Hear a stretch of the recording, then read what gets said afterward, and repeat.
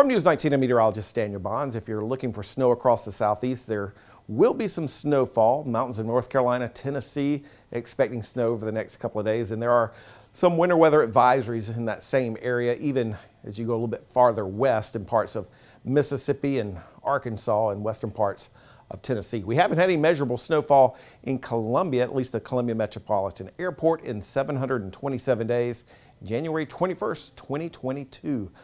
This is an annual chance of snowfall across South Carolina. The farther north and west you go, the odds of snow does increase. But if and or when we do have sleet or snow this season, the warning criteria has changed just a touch. For us here across the Midlands, we have to get two or more inches of snow and or sleet to have a winter storm warning. In the upstate, it's now up to three inches. So a little bit of a different criteria for those winter weather warnings. Again, nothing like that for us. We only hit 44 degrees yesterday. It'll be a little bit warmer later today. We'll have a few clouds kind of moving through the Midlands. Chance for rain late tonight and very early Friday morning. Here are about 2 o'clock Friday morning as those showers kind of moving through parts of the Midlands. Rain moves out pretty quickly by the time most of us wake up Friday morning. The rain is out of here. The, the clouds will start to decrease and the winds will start to pick up as well. We'll have these winds out of the west anywhere from 15 to 20 miles per hour. So it will be a bit breezy tomorrow. As far as those rainfall totals are concerned, basically trace amounts of rain. And here's what the European forecast model is looking at, or what they're expecting over the next few days. Cold, dry weather Saturday, Sunday will start to warm up a little bit as we go into next week. A few more clouds are going to be possible Tuesday.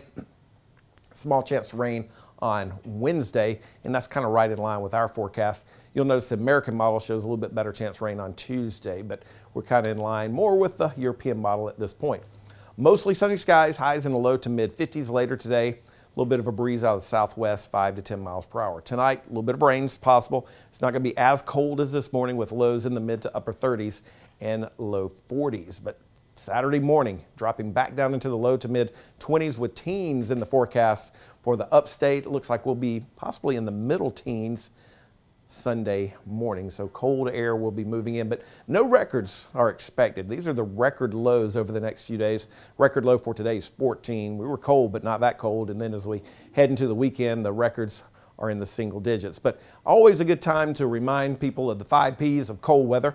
You do want to protect people, pets, pipes, plants, and practice fire and heating safety. You're going to need some heating over the weekend with these temperatures kind of struggling into the upper 30s, low 40s both days. We mentioned lows Sunday morning dropping down into the middle teens and then gradually things do warm back up mid 60s by Wednesday. Small chance for a shower. Coastal forecast pretty cold over the weekend.